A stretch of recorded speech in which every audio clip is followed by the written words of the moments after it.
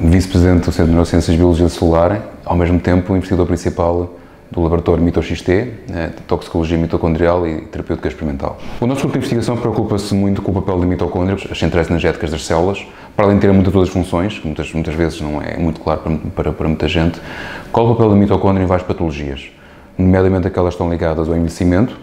e também aquelas ligadas a estilos de vida que não são os adequados. Nós temos uma série de projetos em andamento no grupo, desde a doença de Parkinson, por exemplo, a esclerose lateral amiotrófica, obesidade, e, portanto, também, e também desenvolvemos nesse, nesse processo intervenções que possam uh, ajudar a mitocôndria, né, que tem as nossas células todas, estes cetoglóbulos vermelhos,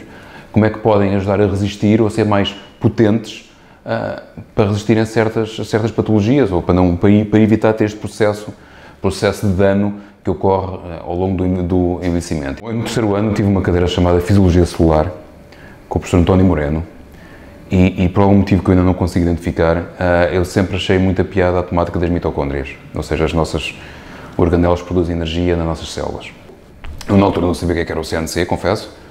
Depois de começar a fazer o estágio é que percebi o é que era o CNC, ele fazia parte do CNC, eh, já estava formado infelizmente, e, e, foi aí que eu tive o meu primeiro contacto uh, com o CNC, na altura era, era o professor Célio Pato Carvalho ainda o diretor do CNC,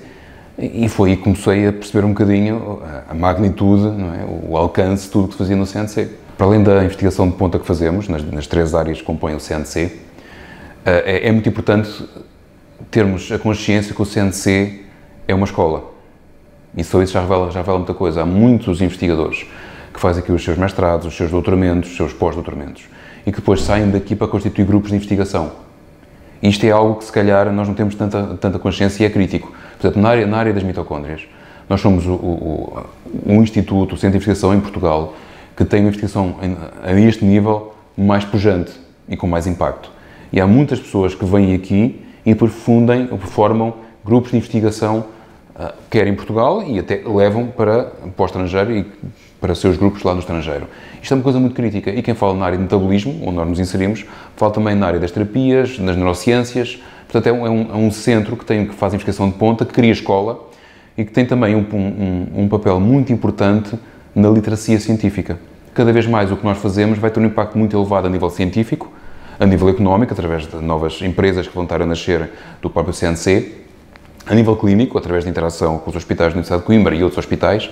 ah, e, e também da própria parte da sociedade. Não só indiretamente porque geramos ah, ah, novas terapias, geramos conhecimento de saúde que depois vai ter um impacto, mas também da parte de literacia, porque só uma sociedade informada é que vai perceber a importância que nós fazemos aqui no CNC e noutros centros de investigação.